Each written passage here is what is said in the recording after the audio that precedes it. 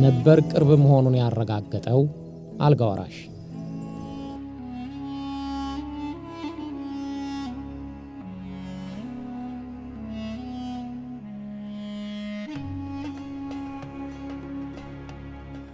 ከስድስት ዓመታት በፊት ዓለም የምትስቅለት ሰው ነበር። ከስድስት ዓመታት በፊት ሊቢያ ብቻ ሳትሆን አውሮፓም እልፍኝና አዳራሾቹ ነበሩ። በአምባገነኑና ጨካኝ አገዛዙ የሚታወቀው የኮሎኔል መሐመድ ጋዳፊ ልጅ መሆኑ ብቻ ሳይሆን ለወራሴ መንግሥት የታጨ ነበርና የአርጋጃና ጓጁ ብዛት ተቆጥሮ አያልቅም ነበር። የዓለም ዕውቅ ዘፋኞች አለበት ድረስ እየተጠሩ ይወዘወዙለት ነበር። ምሁራንና የአውሮፓ ባለሥልጣናትን ጭምር የፈለገበት ቦታ እየቀጠረ ያገኛቸው ነበር። ያ ሰው ሳይፍ አልእስላም ጋዳፊ ነው። እስከ 38 ዓመቱ ድረስ አይንፈስብህ ተብሎ አልጋ በአልጋ እየተረማመደ ተቀምጦ ኖረ።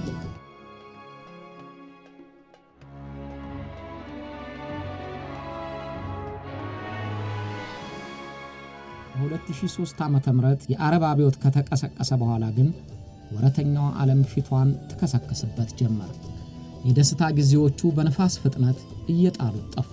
እንደ ተራራ ተቆልሎ ይታይ የነበረው የአባቱ ሥልጣን ሲደረመስ ተዝቆ የማያልቅ የነበረው የእርሱና የቤተሰቡ ንብረት ተኖ እርዳታ ጠያቂ ሆነ።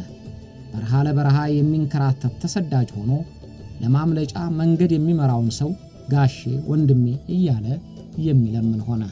እንኳን ጠይቆ ምን አስቧል ብሎ የሚያረግድለት የሀገሩ ሰው ተነሳበት። ሀገር ጥሎ ለመጥፋት ሞከረ፣ ግን የሚረዳው አላገኘም። ስለዚህ በአሳዳጆቹ እጅ ወደቀና እስረኛ ሆነ። ሳይፍ አልእስላም ጋዳፊ እስረኛነቱ ብቻ አልበቃውም፣ ሞት ተፈረደበት። ሁሉም ነገር የላው ወደ ታች ሆኖ ተገለባበጠ። ጊዜ ነው እንጂ ቁም ነገራም አለኝስ ማለት አያኮራም እንደተባለው ሳይፍ አልእስላም ሁሉም ነገር የከንቱ ከንቱ መሆኑን ራሱ ባየው አረጋገጠ። በ44 ዓመት ዕድሜው ነበር ምን ያህል ቅርብ ሊሆን እንደሚችልም አረጋገጠ። ከነዚህ ሁሉ ጭንቀቶች በኋላ ሰሞኑን ተስፋውን የሚያለመልም ወሬ ተሰምቷል። ሳይፍ አልእስላም ጋዳፊ በምህረት በነፃ ተለቀቀ ተብሏል። ጀርባዋን የሰጠችው ዓለም ፊቷን እየገለጠችለት ይሆን?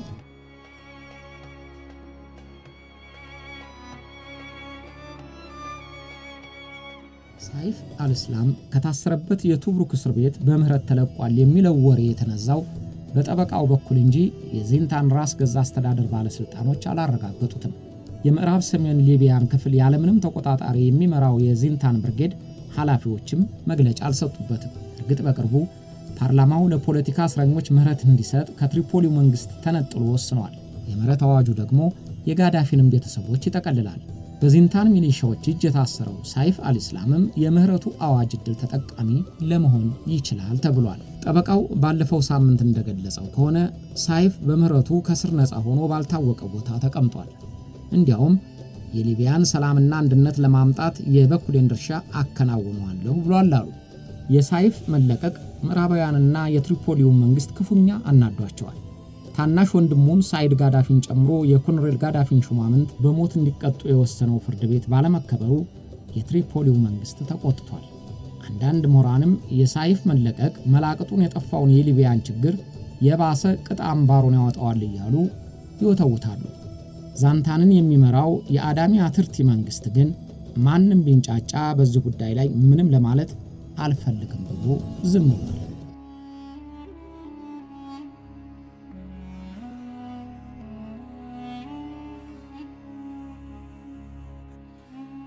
የዛንታን መንግሥት እያልኩ ደጋግሜ ስለምጠቅስ ማስረዳት አስፈላጊ ይመስለኛል። ሊቢያን ሰጥ ለጥ አድርጎ በአንድነት ለ42 ዓመታት የመራት ኮሎኔል ጋዳፊ ተገድሎ መንግሥቱ ከፈረሰ በኋላ ሊቢያ እንደ ሀገር መቆም አቅቷታል። የአሸባሪዎች መጠለያ፣ ሉዓላዊነቷ የተንገራገጨባት፣ አንድነቷ የተፋለሰባት ሀገር ሆናለች። የነዳጅ ምርቷ የማንም የጦር መሳሪያ መግዣ ሆኖ ሕዝቦቿ እየታመሱ የሰቆቃና የሽብር ኑሮ ይገፋሉ። ለስሙ በትሪፖሊ መንግሥት መቋቋሙ ይነገር እንጂ በየጎሳቸው የተደራጁት ታጣቂዎች ለራሳቸው መንግሥት ሆነዋል። ለትሪፖሊው መንግሥትም መታዘዝ ቀርቶ አይተባበሩትም። የቀድሞው የአሜሪካ ፕሬዝዳንት ባራክ ኦባማ በፕሬዝዳንትነት ጊዜ ከተደረገው ስህተት የሊቢያን ቀጣይ ዕጣ ሳናቅድ ጋዳፊን የማስወገድ እርምጃ መውሰዳችን ነው እንዳሉት ሊቢያ ባልተገመተ ቀውስ ተዘፍቃለች። የምዕራብ ሰሜንና ደቡብ የሀገሪቱን ክፍል የሚቆጣጠሩት የዚንታን የሚሊሻ ብርጌድ ዋና ከተማውን ቱብሩክ ላይ አድርጎ መንግሥት መስርቻለሁ ብሏል። የተባበሩት መንግስታት ድርጅትም አብሮት ይሠራል። በኮማንደሩ አጂሚ አትርቴ የሚመሩት የዚንታን ሚሊሻዎች ጋዳፊን የሚያካትተው ጎሳ አባሎች ናቸው። የጋዳፊ የትውልድ ቀዬ ከሆነው ሰርት ጀምሮ እስከ ባህር ዳርቻ ይቆጣጠሩታል። ሀገራትና የተባበሩት መንግስታት ድርጅት ዕውቅና ሰጥተንሃል የሚሉት በትሪፖሊ ያለው መንግሥት የሊቢያ ተወካኝ ነኝ ይላል። ግን በምስራቅና በምዕራብ የታጠቁትን ተቃዋሚዎች ለመቆጣጠር አቅም የለውም። የሚያስተላልፈውን መመሪያም የሚሰማው የለም። የዚንታን ብርጌድ ተብሎ የሚታወቀው መንግሥት ለትሪፖሊው መንግሥት ዕውቅና መስጠት ይቸግረዋል። ቢያስታርቋቸውም እርቃቸው አይቆይም። ስለዚህ ከስምምነታቸው ይልቅ ጸባቸው ያይላል። ሰይፍ አልእስላምን የማረከውም ያሰረውም አሳልፈን አንሰጠውም ብሎ እስካሁን ያቆየው ይኸው የዚንታን ታጣቂ ቡድን ነው። የትሪፖሊውና የዚንታን ሚሊሻዎች አለመስማማት ለሳይፍ ጥሩ አጋጣሚ የፈጠረለት ሳይሆን አይቀርም።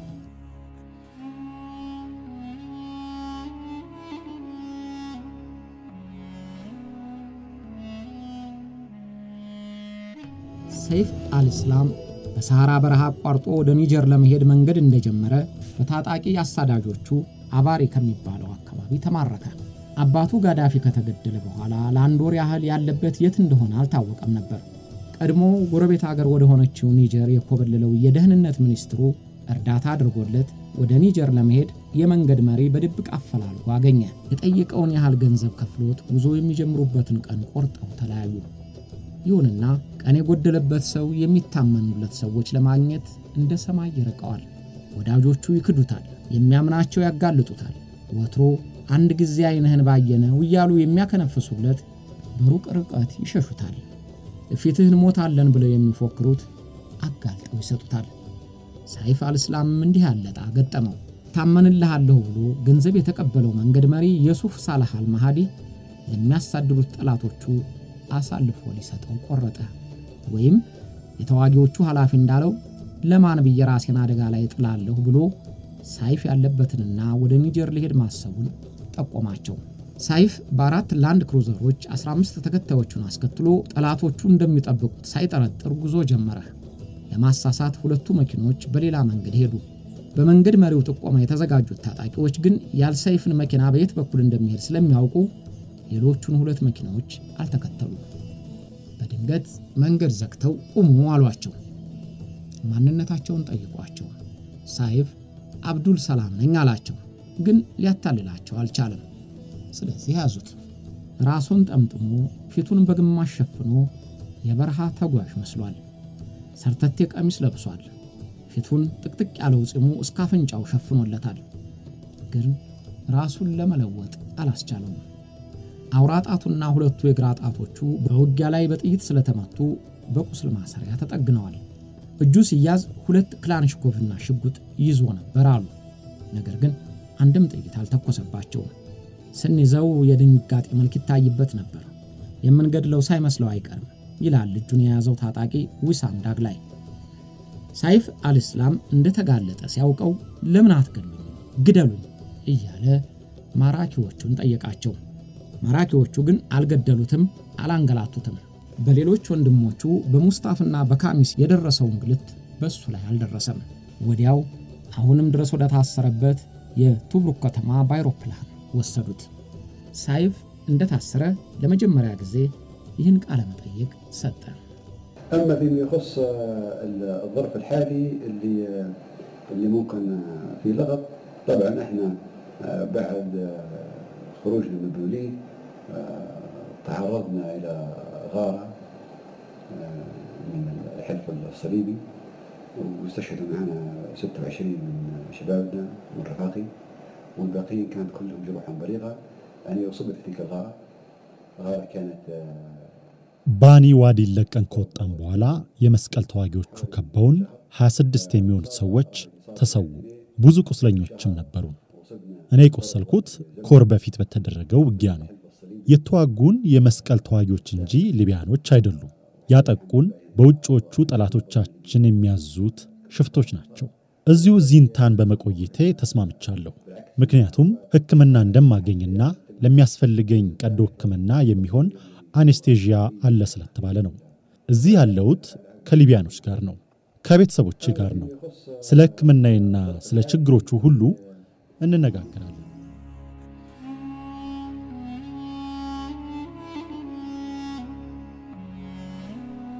አልሰይፍ እንደተማረከ የሄጉ የወንጀለኞች ፍርድ ቤት የሕዝብን ዓመፅ በግድያ ለመቀልበስ በፈጸመው ድርጊት እፈልገዋለሁና ላኩልኝ አለ።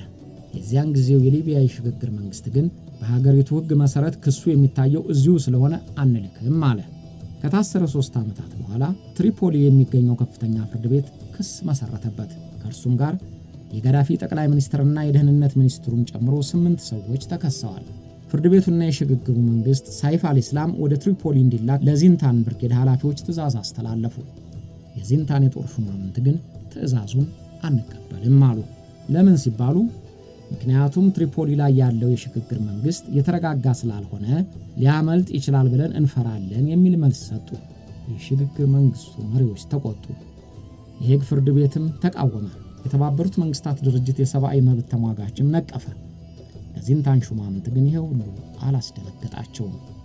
ወትሮም ትከሻ ለትከሻ የሚለካካ መፈራራቱ ይቀራል። ጉልበተኛ ጉልበተኛውን ሊያዘው አይችልም። ስለዚህ የቱብሩክ ኃላፊዎች ሁሉንም ቀረቀሯቸው። አማላጅ ገባቸውና ባይሆን በቪዲዮ ኮንፈረንስ የፍርድ ሂደቱ ይቀጥል ተብሎ ስምምነት ተደረሰ። ጥርስ የሌለው የትሪፖሊ የሽግግር መንግሥት የተናገረው ባለመፈጸሙ አንጀቱ እያረረ የሳይፍ አልእስላም ችሎት በቪዲዮ ኮንፈረንስ እንዲከናወን ተደረገ። ሌሎች ተከሳሾች ትሪፖሊ በሚገኘው ፍርድ ቤት በግንባር ሲቀርቡ፣ ሳይፍ ግን ቱብሩክ በሚገኘው እስር ቤት ባለው ክፍል የእስረኛ ልብሱን ለብሶ ይጠየቃል፣ ይከራከራል።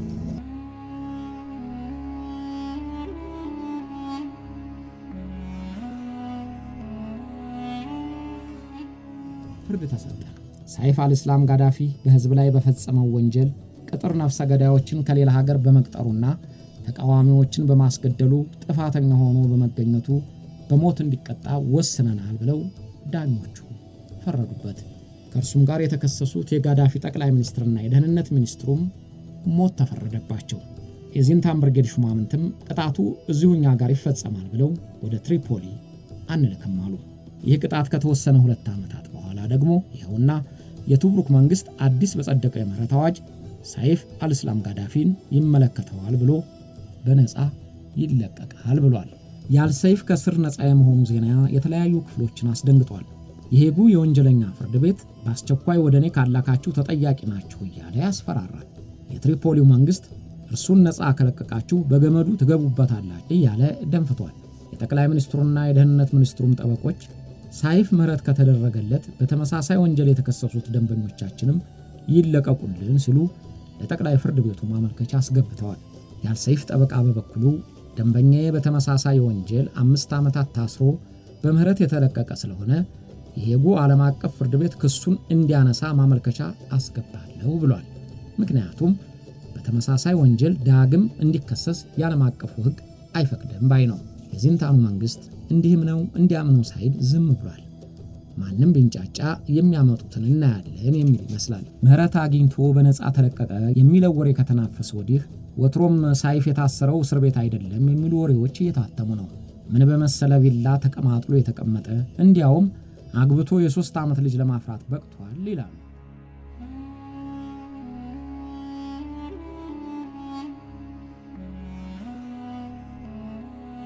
ሳይፍ አልእስላም ጋዳፊ የሕዝብ ዓመፅ በተቀሰቀሰበት ጊዜ አንድ ወንድና ሴት እስኪቀር እንዋጋለን ከሚለው መግለጫው ጀምሮ በሊቢያ ደም እንደ ጅረት ይወርዳል እስከሚለው ማስጠንቀቂያው ድረስ የአባቱን መንግሥት ቃል አቀባይ ሆኖ አገልግሏል። የዓለም ዕውቅ መገናኛ ብዙሃን እነ ቢቢሲ፣ እነ ሲኤንኤን፣ እነ ኤቢሲ፣ እነ ስካይ ኒውስ እና እነ አልጄዚራ አይነቶቹም አነጋግረውታል። ኮሎኔል ሙሐመር ጋዳፊ ከሌሎቹ ልጆቹ ይልቅ ሳይፍን ለፕሮፓጋንዳው መመደቡ ልሳነ ብዙ መሆኑና ጥያቄዎችን እንዳመጣጣቸው ለመመለስ የተሻለ አቅም እንዳለው ገምቶ ይሆናል። ወይም በዚያን ጊዜ ከአውሮፓውያን ጋር ተቀራርቦ ይሠራ ስለነበረ ቢናገር ይደመጣል ብሎ ይሆናል። ለምሳሌ ለምን የሕዝቡን የዲሞክራሲ ጥያቄ አትመልሱም ለሚለው ጥያቄ አባቱ ኮሎኔል መሐመድ ጋዳፊ የመለሰው ድፍን ያለ መልስ ነበር። ዲሞክራሲ አለ፣ ስልጣኑ የሕዝብ ነው። እኔ እኮ ስልጣን ስለሌለኝ ከየትኛው ቦታ ነው የምወርደው? የጀምሃሪ አወቃቀር ስለማይገባችሁ ነው እኮ ብሎ ነበር ጋዳፊ የመለሰው። ሳይፍ ግን ለተመሳሳይ ጥያቄ የሰጠው መልስ ከዚህ ይለያል። የአባቱ መንግሥት የዲሞክራሲ ጥያቄን ለመቀበል ዝግጁ መሆኑን ይጠቅስና የአሁኑ ዓመፅ ግን ታጣቂዎች በጦር መሳሪያ የሚመሩት በሀገር ላይ የተቃጣ ሽብርና ውንብድና ስለሆነ እንዋገዋለን ይላል። እንዲህ እያደረገ ያለመታከት ጥያቄዎችን እየመከተ ቆየ። Those are my demands. I said this many times before. You know this. I made a lot of statements about this in, in, the, in the last 10, 10 years.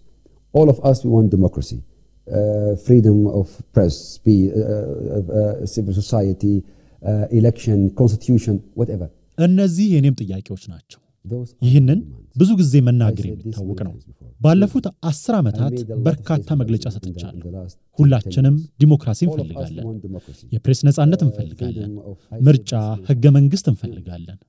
ይህንን በሊቢያ የሚቃወም የለም። last 10, 10 years. ግን ዘይታችንንና የጦር ካምፓችንን በኃይል ለመቆጣጠር የሚፈልግ የታጠቀ ኃይል ካለ፣ አሸባሪ ካለ ይህ ተቀባይነት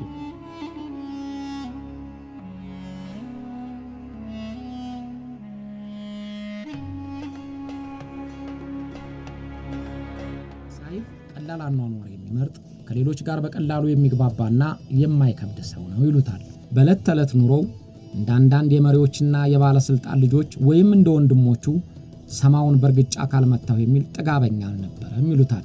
ጥሩ ባህሪ ያለው የሚል ዝና በድፍን ሊቢያ ሲነገርለት ነበር። እንደ ሳዳም ሁሴን ልጆች ቃሲምና ኡዳይ ባለሥልጣኖቹን እየጠራ የሚዘልፍ የብሔራዊ እግር ኳስ ቡድን ተጫዋቾቹን የሚያስገርፍ አልነበረም። ሳይፍ ከወጣት ባለሙያዎች ጋር ተመሳስሎና ተቀራርቦ በመስራት ያምናል። ምሁር ነው። በኋላ ጭቅጭቅ ቢነሳበትም ከለንደኑ ስኩል ኦፍ ኢኮኖሚክስ የዶክትሬት ድግሪውን አግኝቷል። እንግሊዘኛ፣ ፈረንሳይኛና ጀርመንኛ ቋንቋዎችን አስተካክሎና አቀላጥፎ ይናገራል ይላሉ የሕይወት ታሪኩን የዘገቡት እነ ቢቢሲ። በሊቢያ የሕዝብ የትጥቅ አመፅ ተቀስቅሶ የጋዳፊ መንግሥት በውጥረት ከተያዘ በኋላ ግን ለዶክተሬት ድግሪው ያቀረበው ጽሑፍ ላይ ሳይቀር ጥያቄ ተነሳ። ከለንደን ስኩል ኦፍ ኢኮኖሚክስ ድግሪውን የተቀበለው አመፁ ከመቀስቀሱ ሁለት ዓመታት በፊት ነበር። በእነዚያው ዓመታት ከጋዳፊ ፋውንዴሽን ዩኒቨርሲቲው 1.5 ሚሊዮን ፓውንድ መውሰዱ ተረጋገጠ። የሳይፍ አማካሪ የነበሩት ፕሮፌሰር ዴቪድ ጋድ እርዳታው ከመሰጠቱ በፊት ጥቂት ቀደም ብለው ከሌሎች ታዋቂ ምሁራን ጋር የፋውንዴሽኑ የቦርድ አባል ሆነው ነበረ። እነዚህ ሁሉ ተገጣጠሙና የተከበረው ዩኒቨርሲቲ ከሊቢያው ጋዳፊ ጋር ያለው ግንኙነት ጤናማ አልነበረም የሚሉ ጥርጣሬዎች ተቀሰቀሱ። ስለዚህ ፕሮፌሰር ዴቪድ ከቦርድ አባልነታቸው እንዲለቁ ተደረገ። የትምህርት ቤቱ ግንኙነት በገለልተኛ አጣሪ እንዲመረመር ተወሰነ። በዚያ ምክንያት የትምህርት ቤቱ ዳይሬክተር ሰር ሃዋርድ ዴቪስ በገዛ ፈቃዳቸው ኃላፊነታቸውን ለቀቁ። ቅሌቱ በትምህርት ቤቱ እርዳታ መቀበል ላይ ብቻ አላበቃም። ሳይፍ ያቀረበው የመመረቂያ ጽሑፍ ከሌላ ሰው ሥራ የተቀዳ ነው የሚል ክስ ቀረበ። እነዚህ ሐሳቦች ሲገጣጠሙ ትምህርት ቤቱ በጋዳፊ ፋውንዴሽን በወሰደው ገንዘብ እየተደለለ ለሳይፍ የማይገባውን ድግሪ ሰጥቷል የሚል አንደምታ ያዘ። ሳይፍ በዚህ አይነቱ ርካሽ ተግባር በመጠርጠሩ ተናዶ መግለጫ ለመስጠት ተገዷል። እንደሱ እምነት ከሆነ ክሱ ቀን የከዳቸው የመሰላቸው ፈሪዎች የጠነሰሱት የክህደት ሴራ ነው። ለንደን ስኩል ኦፍ ኢኮኖሚክስ ባቀረብኩት ሥራዬ ኮራለሁ። የጋዳፊ ተቃዋሚዎች ወታደራዊ የበላይነት ያገኙ ስለመሰላቸው የጥቃት ኢላማ አድርገውኛል። ዛሬ በትምህርት ቤቱ ያሉ የቀድሞ ወዳጆቼ ሊያዋርዱኝ የፈለጉበት መንገድ ሊያሳፍራቸው ይገባል። ሽፍቶች አገራችንን እያፈራረሷት ነው። ፈሪዎችም ተነስተውብናል።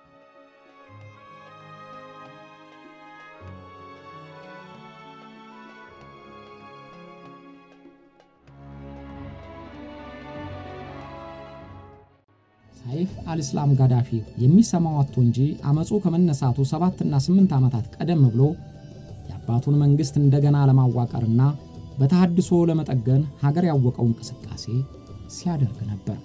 ሕገ መንግሥት በሌለባት ሊቢያ ሕገ መንግሥት እንዲኖር የጋዳፊ ቃል ብቻ ሕግ መሆኑ ቀርቶ የተቀረጹ ሕጎች እንዲኖሩ በግልጽ ሲያሳስብ ቆይቷል ይባላል። ከጋዳፊ ሥልጣን በመለስ ያለው የመንግሥት ኃላፊነት በምርጫ እንዲሆን በይፋ ሲወተውት እንደነበረ ይዘገብለታል። የውጭ ኢንቨስተሮችን የሚያሳትፍ የኢንቨስትመንት ፖሊሲ እንዲኖርም ጥረት አሳይቷል። እነዚህ መብቶች እንዲከበሩ በቃል ብቻ ሳይሆን የራሱንም ጅማሬዎች ለማሳየት መሞከሩ ይነገራል። ወጣቶችን አሰባስቦ ስለ ተሃድሶ አስፈላጊነት የሚጽፍ ጋዜጣ ማሳተምም ጀምሮ ነበር። ግን የጀመራቸው ሐሳቦች እንዲጨናገፉ ግፊት በዛበት። የገዛ ወንድሞቹ ሳይቀር ተቃዋሚው ሆነው የአባቱን አስተያየት አወላገዱበት። በኋላ አፈር ልሰው ድንጋይ ነክሰው የማያገኙትን ዕድል በሳር በቅጠል ብለው አጠፉት። It was a big mistake not to, to move fast. I was, you know, I was shouting every day. I was crazy about uh, uh, going fast and implementing the reforms in the right time. I was, you know, I worked very hard to go, uh, you know, to implement many ideas, ትልቅ ስህተት ነበር። ስለዚህ ጉዳይ በየጊዜው ጮኬ ነበር። ታድሶውን ተግባራዊ አድርገን በፍጥነት ለመራመድ ወትውቼ ነበር። የተለያዩ ሐሳቦችን ተግባራዊ ለማድረግ ደክሜ ነበር። ግን ነገሮች የተሳሳተ መንገድ ያዙ። አሁን ይኸውና ከአስቸጋሪ ሁኔታ ጋር ተጋተለ።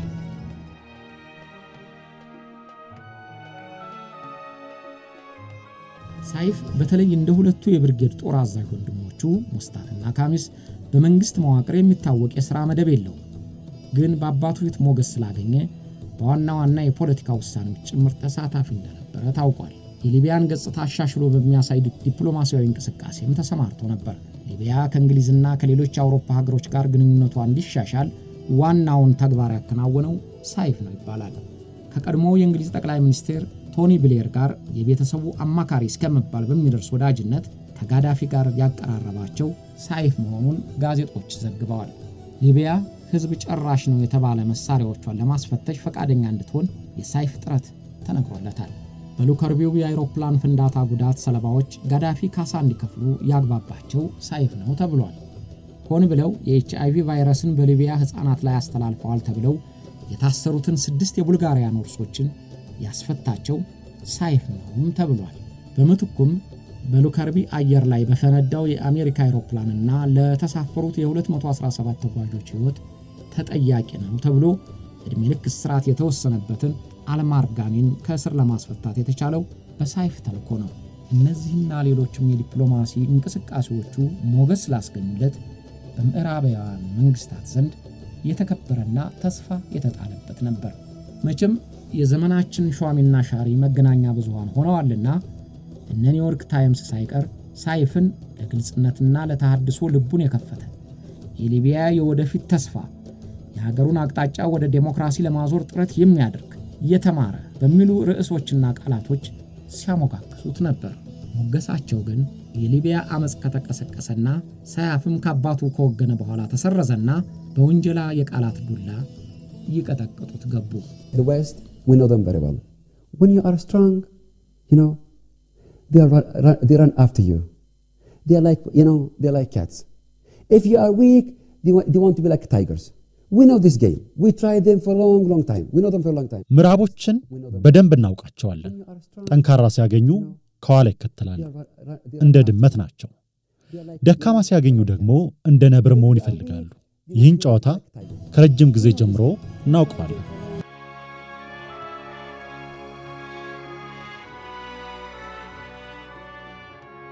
በዓለም ዲፕሎማሲያዊ ግንኙነት ሊቢያን ወክሎ በመስራቱና በዚያን ጊዜ ውሃ ሽቅብ ይፈሳል የማለትን ያህል በሊቢያ የማይቻለውን የዲሞክራሲና የተሃድሶ ጉዳይ ሲያነሳ አባቱ ዝም በማለቱ ወራሲው ሊያደርገው ቢፈልግ ነው ተብሎ ተገምቶ ነበር።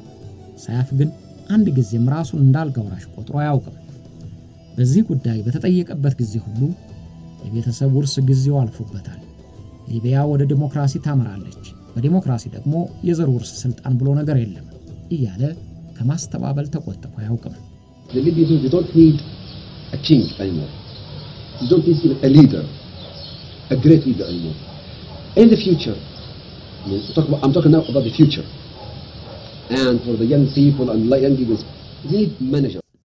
የሊቢያ ሕዝቦች ንጉሥ እንደማይፈልጉ እርግጠኛ ነኝ። ታላቅ የሚባል ገዥም ከእንግዲህ አይፈልጉም። የማውራው ስለ ወደፊቱ ነው። ወደፊት ወጣቱ የሚፈልገው የሥራ መሪ ነው። ሀገሪቱን የሚመራ የቤት ፖሊሲን የሚመራ የትምህርትና የጤናውን እድገት የሚመራ የኢንዱስትሪና ቱሪዝምን መስፋፋት የሚመራ ሥራ አስኪያጅ ነው። የወደፊቱ ዘመን የሥራ መሪዎች ነው። ሕዝቡ የሚመርጠው የሥራ መሪ እንጂ ፕሬዝዳንት ወይም ንጉሥ አይደለም።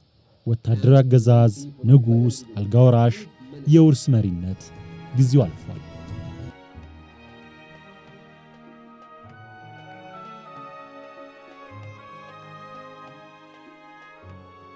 አመፁ ከመቀስቀሱ ከሁለት ዓመታት በፊት ሰያፍ ከማንኛውም የፖለቲካ ጉዳይ ራሱን ማስገለሉን በድንገት በይፋ አስታወቀ። ምክንያቱ ምን እንደሆነ ባይገልጽም በቴሌቪዥን በሰጠው መግለጫ ከዚህ በኋላ በመንግስት ጉዳይ ላለመግባት ወስኛለሁ ባለፉት ጊዜ ወደ ፖለቲካ የገባሁት ተቋሞች በመጓደላቸው ነበር አለ። የሊቢያ ሕዝብ ግን እርሱ የሰጠውን ምክንያት አላመነበትም። ሳይፍ ስራዬ ብሎ የሚደክምበትን የተሃድሶና መንግስትን እንደገና የማዋቀር እንቅስቃሴ በወግ አጥባቂዎቹ ባለሥልጣናት ዘንድ አልተወደደለትም። የወታደርና የደህንነት ኃላፊነት የተሰጣቸውና በአመፁ ፍልሚያ ወቅት የተገደሉት ሁለቱ ወንድሞቹ ሙስታምና ካሚስ ተቃዋሚዎቹ ሆነው ከአባቱ ጋር እንዳጣሉት ተወራ። ለምሳሌ በፖለቲካ እንቅስቃሴ ውስጥ አልሳተፍም ከማለቱ ጥቂት ቀናት በፊት ከእርሱ ጋር ግንኙነት ያላቸውና አዲስ በተጀመረው ጋዜጣ የሚሰሩ ሀያ ጋዜጠኞች ታሰሩ። ሳይፍ ያደራጃቸው ጋዜጠኞች ለአልጋሃድ ጋዜጣ የሚሰሩ ሆነው የተሃድሶ እንቅስቃሴ እንዲጀመር የሚያሳስቡ ነበሩ። ግን ብዙ ሳይራመዱ ታሰሩና ጋዜጣው ተዘጋ። ሳይፍ የሊቢያን አስተዳደር ለማደስ የሚያደርገው ጥረት በወንድሞቹና በአክራሪዎች ሲደናቀፍ መቆየቱን የሊቢያ ሕዝብ በአመፅ ተቀስቅሶ ወዳጅና ጠላት በሚለይበት ወቅት ራሱ ተናግሮታል። ሳይፍ ለሲኤንኤን ጋዜጠኛዋ ክርስቲያና ማንፉር አመፁ እንደተቀሰቀሳት የነገራት ይህንኑ ነበር። የተሃድሶውን ሐሳብ እየተቃወሙ ያስቸግሩ የነበሩት ወግ አጥባቂዎች አሁን ተገልብጠው ተቃዋሚ መሆናቸውን ነበር። The people who were responsible for that, stopping me from who, who I, I see them every day on the TV saying, bye bye, we are going with the, with the next group. ለተሃድሶ መኮላሸት ተጠያቂነት ያለባቸውና. እኔ ወደፊት እንዳልራመድ ያወቁኝ የነበሩ እነዚያው ሰዎች ዛሬ በየቀኑ በቴሌቪዥን እየቀረቡ ወደ ሌላው ቡድን መሄዳችን ነውና ደህና ሁኑ ሲሉ እሰማቸዋለሁ።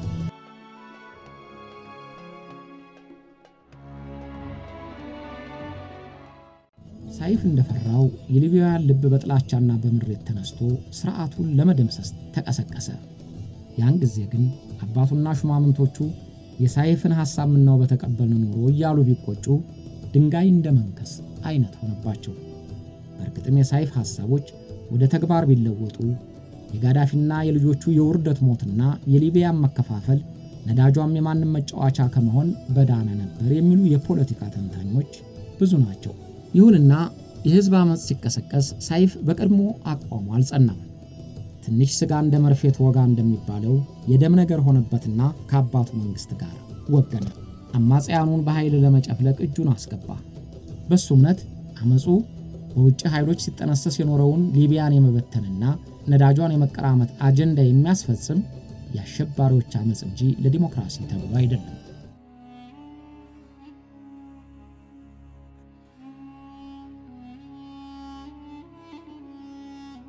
ሳይፍ አልእስላም ተሃድሶ እያለ እንደ ጮኸ ሰሚ ሳያገኝ ያሰበውንም ሳያሳካ እንደፈራው ሁሉንም ጠራርጎ የሚወስደው ጎርፍ ከተፍ አለና የአባቱን መንግሥትና ቤተሰቦች ጠራረጋቸው።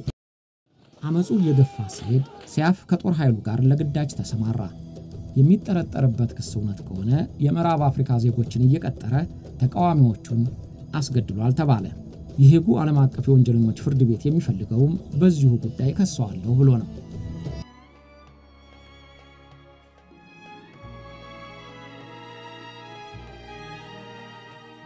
ሳይፍ አልእስላም ጋዳፊ ምህረቱ ጸንቶለት ነፃ ሆኖ ከተለቀቀ ለሊቢያ ሰላም የሚጠቅም ተግባር ያከናውንም እንደሆነ ወይም ተቀናቃኞቹ እንደሚፈልጉት ተመልሶ ወደ እስር ቤት ይወረወርም እንደሆነ ወደፊት ይታያል። ለአሁኑ ግን የሞት ፍርዱ ተሽሮለት ነፃ ነህ ተብሏል። ወትሮም የዘገየ ነገር መላ አያጣም።